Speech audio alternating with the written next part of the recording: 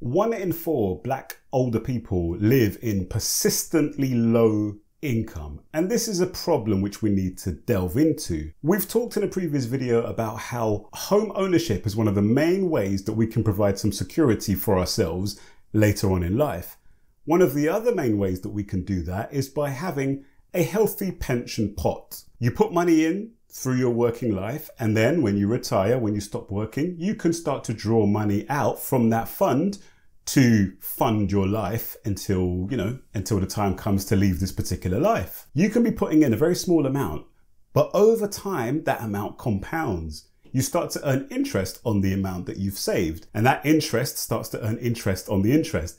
And so it compounds over time. And eventually, if you've been paying in for a long amount of time, what started off as very small contributions can translate into a very big pot. In addition to that, the employer can match your contributions. This is one of the things to be looking out for in the workplace. When you're looking, when you're thinking about negotiating salaries and pay benefits and stuff like that, look very closely at the pensions and think about those pension, those employers who will match your contributions and guarantee to put in, you know, five, 10% there is something called auto enrollment. What once you are over, I think it's 22 years of age, and once you're earning over a certain amount of money, you are automatically enrolled into your workplace pension. You can opt out of that pension, but the thing with opting out of the pension is that you've got to remember to opt back in, and you've got to remember that every month, every year that you're not putting in, that is future income that you're leaving on the table. When you look at the data, Black and other minority ethnic groups have smaller pension pots, they're much less likely to even have a pension,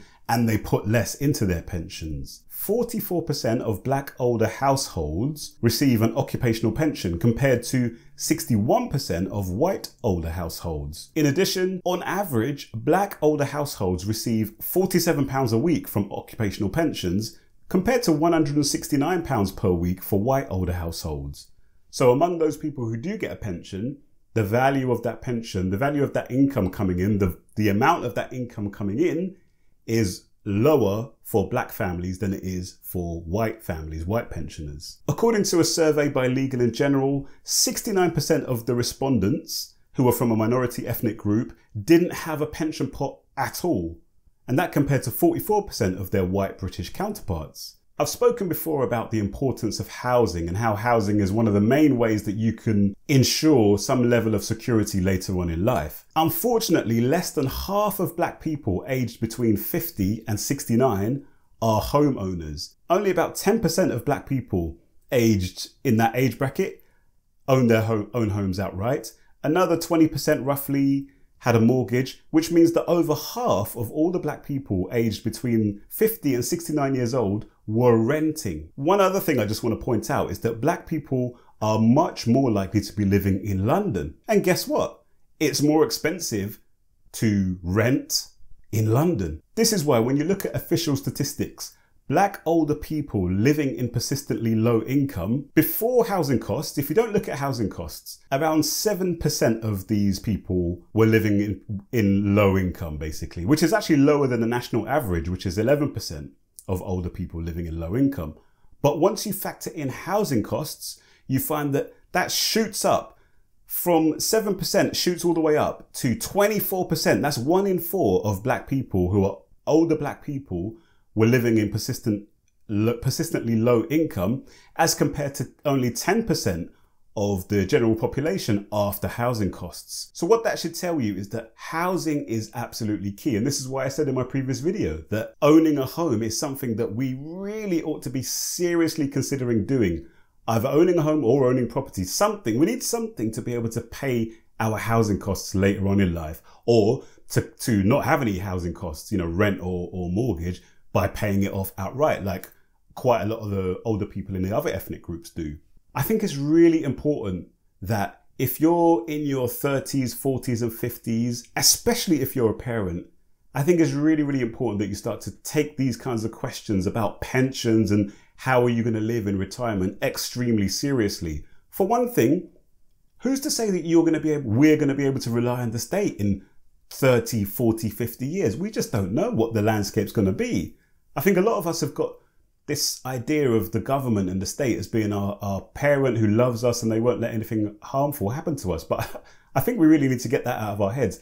as time goes by, there's going to be more and more people retiring, which means that the the needs are going to be greater and there are going to be less and less people working because the overall working population in the UK is getting smaller and smaller and smaller because people are having less children. So I, think we, we need to get real about what the future holds for us as people who are going to be retiring in the next 20, 30, 40 years. I think also as well, it's really important that we don't lumber our children with having to look after us. Now that does sound weird because I do think family is absolutely critical to wealth and happiness and prosperity. And I think that I personally think children should be helping and supporting their parents, you know, when they're retired. But that's only something that you can count on if you've been raising your children in that way. If you've been equipping them to have the skills and the expertise and the knowledge and the inclination to want to look after you and the and the means by which to look after you. But I don't think that we're doing that as a community. I don't think we're doing that in the black community.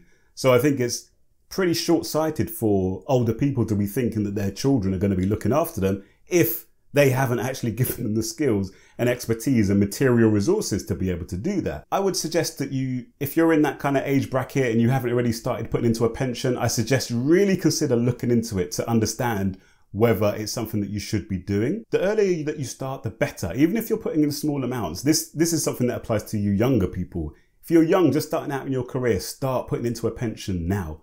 A pension is not an old person thing. A pension is an investment that will be the, the more you put in and the earlier you put into a pension, the bigger it will be when it's time to actually draw down from said pension. Think about how much money per year, how much income per year you will need when you retire.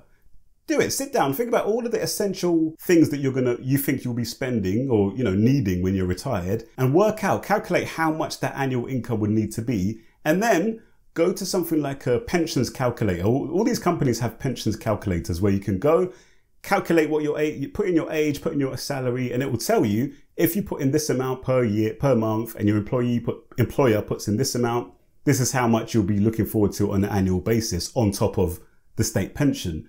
These are the conversations that we need to be having more and more in family gatherings, friend gatherings, gatherings, and so forth. Let's encourage each other to think about serious stuff, not just the banter, not just the football, not just the music and this, that, and the other, not just the Instagram trends.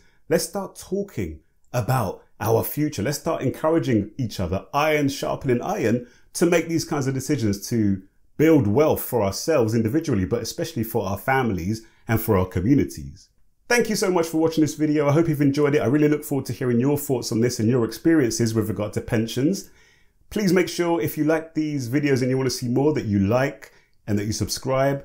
And check out this video here that YouTube should, should suggest. I always trip up on that one. Check this video here that YouTube will recommend for you to watch. And also this video here, which I think you might find useful and interesting. All right, take care and I'll see you next time.